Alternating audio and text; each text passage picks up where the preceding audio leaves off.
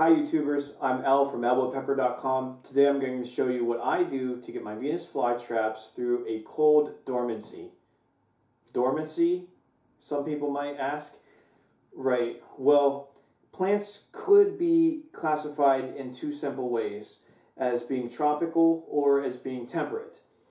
If you're talking about a tropical plant, it has grown in a warm area where you don't experience frigid temperatures.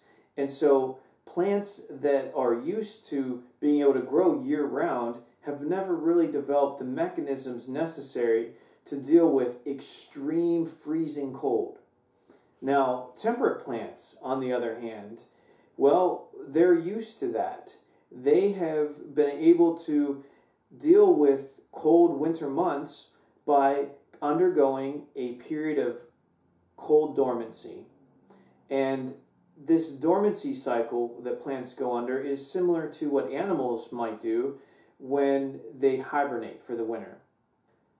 So, now, what about fly traps? Well, the native area that you can find them in is North and South Carolina, and this is in fact a temperate region.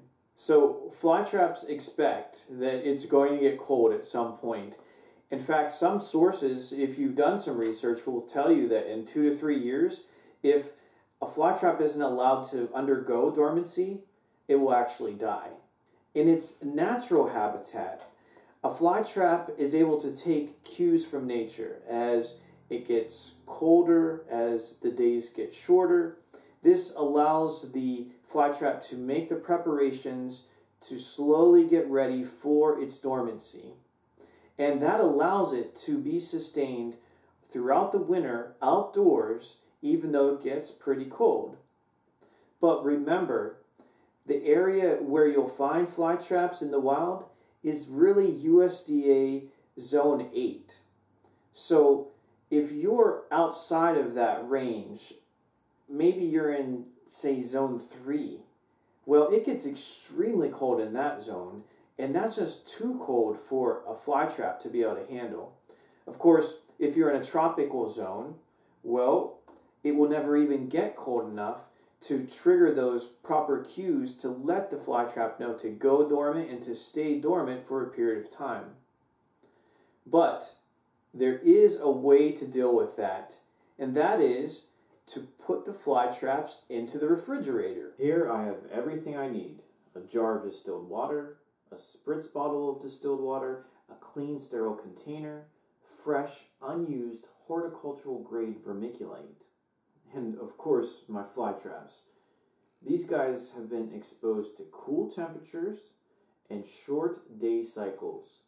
I've stopped feeding them as well, and although the soil isn't dry, I haven't been keeping it quite as moist as normal.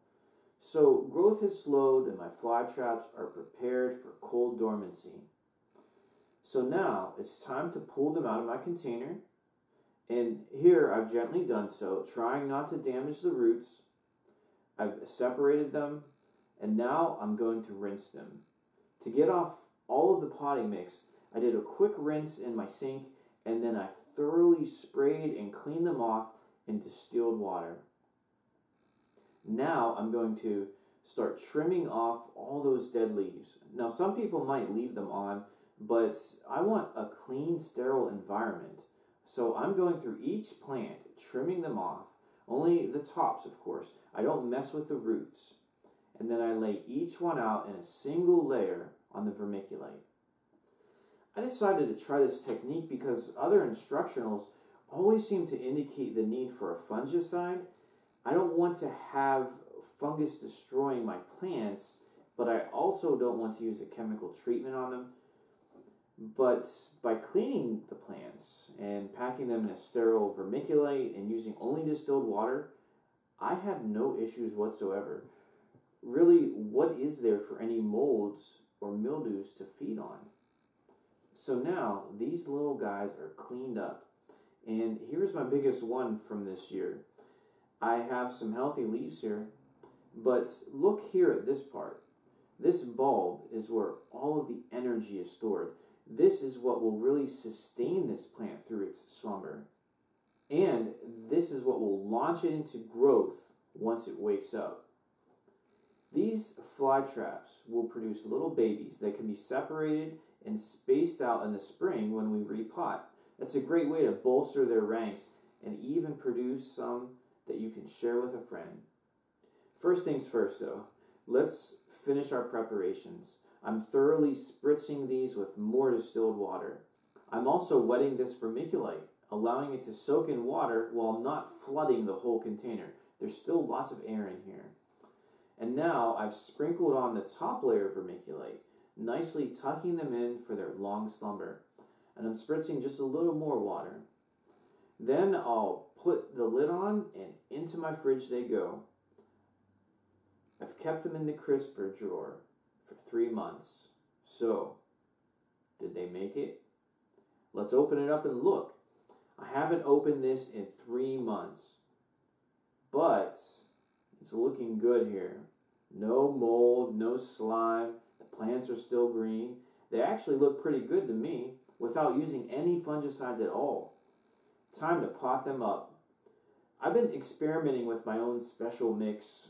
Most commonly, people use peat moss and sand, but I've been testing coir, vermiculite, zeolite, and perlite.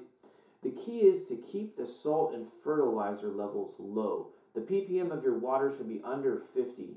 In my container setup, I'm using a sub-irrigated design, which has proved to work well for me. This is my Albo spindle container made from upcycled CD DVD cases. And here are my happy little fly traps. That's it, guys. A simple way to enter a deep state of cold dormancy.